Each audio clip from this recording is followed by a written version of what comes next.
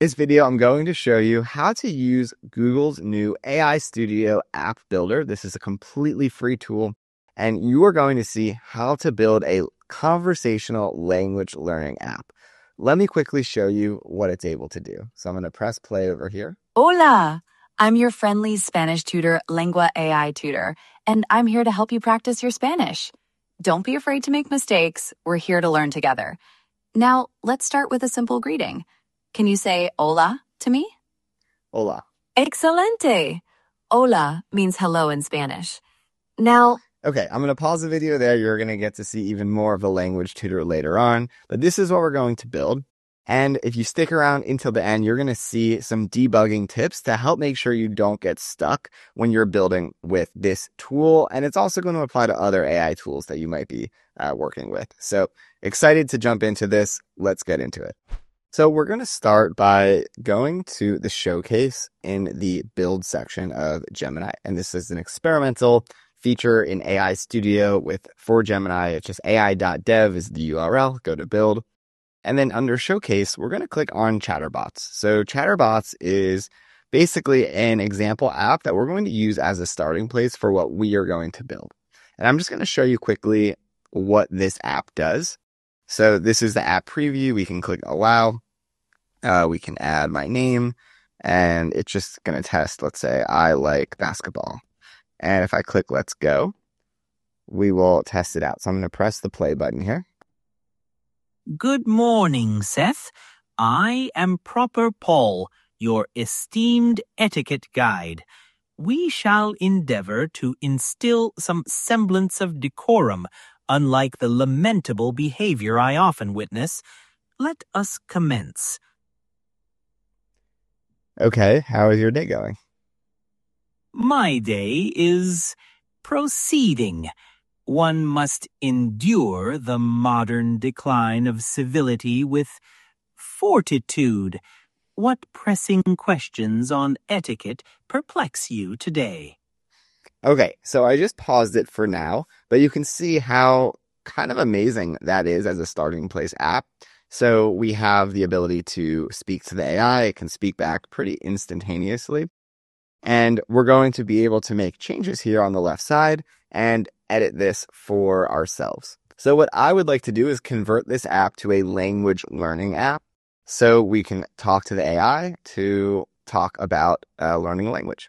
And here, even we can see if we click on this edit here in the app uh, preview, there is kind of a system prompt here that we could change. But what I want to do is just change the full app and show you the coding abilities of Gemini.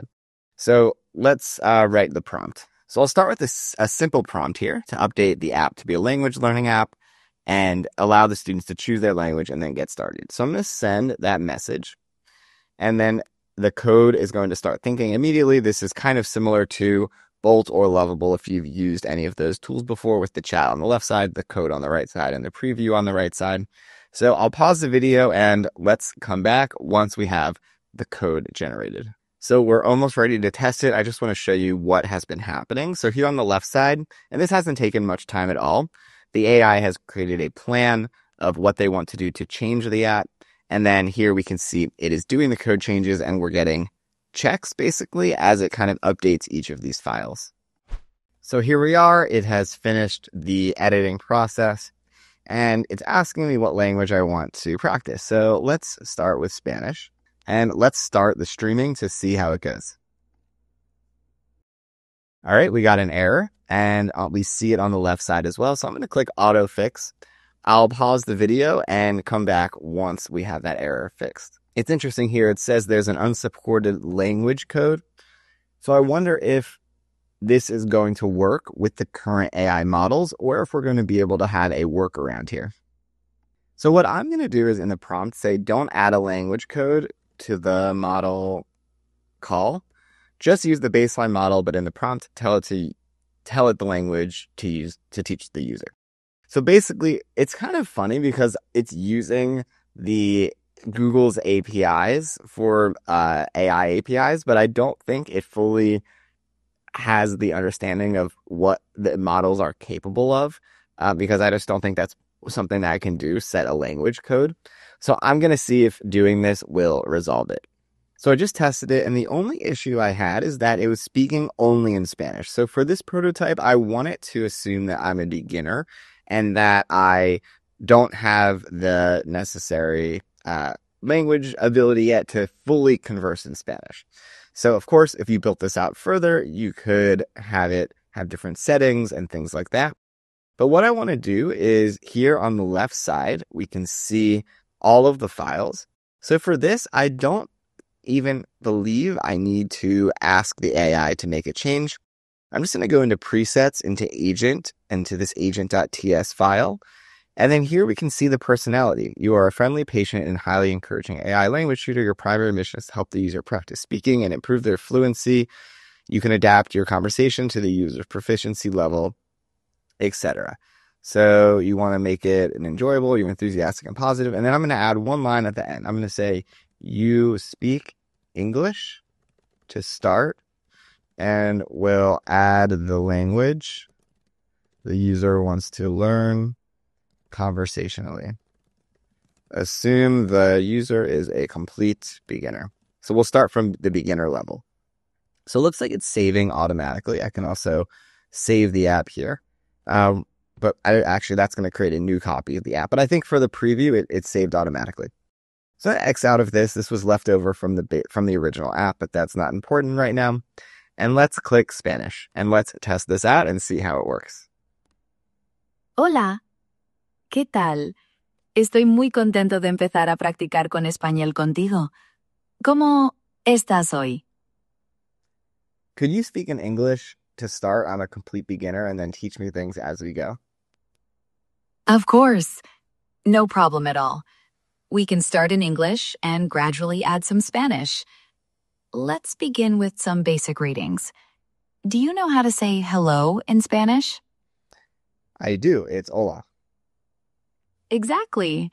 Es hola is perfect. Now, how about saying, how are you? In Spanish, you can say, ¿Cómo estás? Can you try saying that? ¿Cómo estás? Excellent.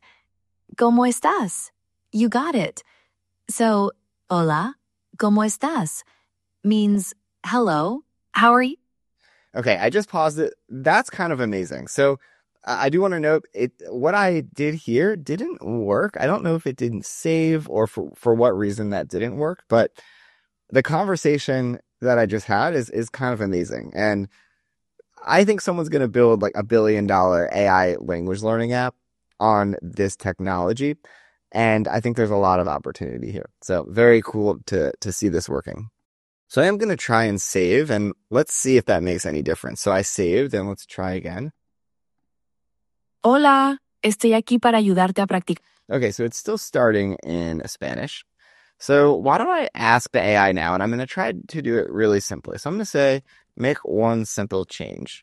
Instead of the AI starting speaking in the language selected, have it start in English and assume this user is a beginner. Only make that one change. And let's see if this works. So I tried this before and it seemed, it kind of got errors and I think it was changing too many files.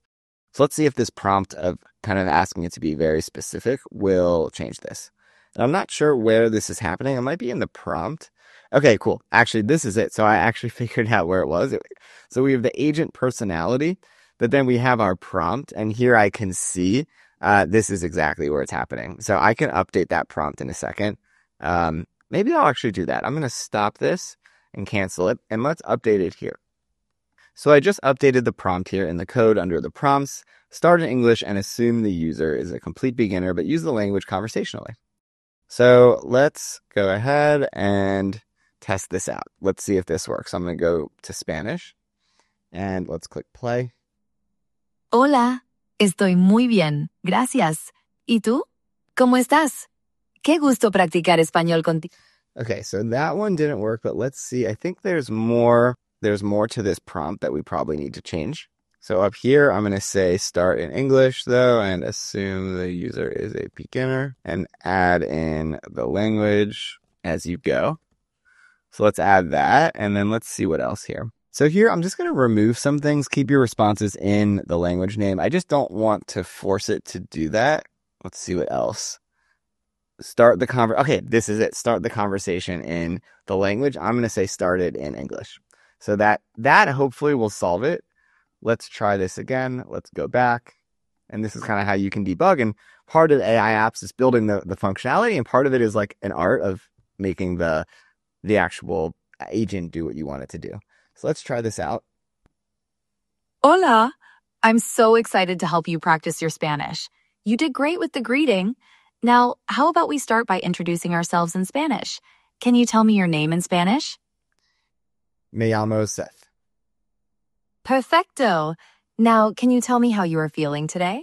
In Spanish, you can say estoy bien for I am good or estoy cansado for I am tired. Estoy bien. Excelente. Estoy All right, cool. I'm going to pause it there, but, and I'm, I'm sorry for my terrible Spanish accent, but, uh, I, I'm not a Spanish speaker, but, uh, yeah, very cool to see that actually working correctly. Uh, this is awesome. This makes me want to keep building this app to make it something that people would actually want to use and, and build on more features. But just as a prototype, this is pretty amazing. So let's take a step back. Um, what I really like about the a- Google AI Studio for prototyping specifically is that I don't need to worry about uh, connecting any AI APIs. This is really huge. It's just all connected here. Like it added the Google Gemini 2.5 and all the streaming and everything. And it did that without me having to bring my own API key or even connect it. And it's all happening for free. So we're prototyping, it's happening for free. That I really, really like. Uh, one thing that I don't like as much is we are limited to using, you know, Google's models here, and you don't have as much control as like something like Cursor. So uh, it's possible that you, you know you're not going to get to use Claude or, or, something like that for coding. And I did notice that uh, there were a lot of errors happening. Now, of course, this is going to keep getting better, but I got stuck a couple times, and like I just asked a simple request, like basically I I prompted it to make these prompt changes and it didn't get it right. So I had to then go find the files myself and, and make the changes. So I'm surprised that it that happened, but uh, of course these tools are going to continue getting better. But I would definitely recommend using this. I think it is definitely worthwhile. Um, you can deploy it on Google Cloud, which I think is a little bit um, actually like more complicated than doing it with something like Bolt Lovable. So that's kind of a downside. Uh, but you can download the app, and I think I assume that's downloading the code and then you could you know upload that code to somewhere else to host it. So uh, you're not kind of fully locked in, but I do think there'd be some more things to figure out with that because the API key and stuff wouldn't work anymore. I think you'd have to connect your own. So things could get a little bit more complicated with that. So I hope that you enjoyed this video. Be sure to subscribe to our channel to get more free content like this. If you want to learn more about building AI apps, Click the link in the description. We have a full course on how to build a SaaS app using AI. We cover how to use tools like Lovable and Cursor and Windsurf. So all of the latest tools. Click the link in the description to get that course and leave a comment if you have any questions at all. Thanks for watching and we'll see you in the next video.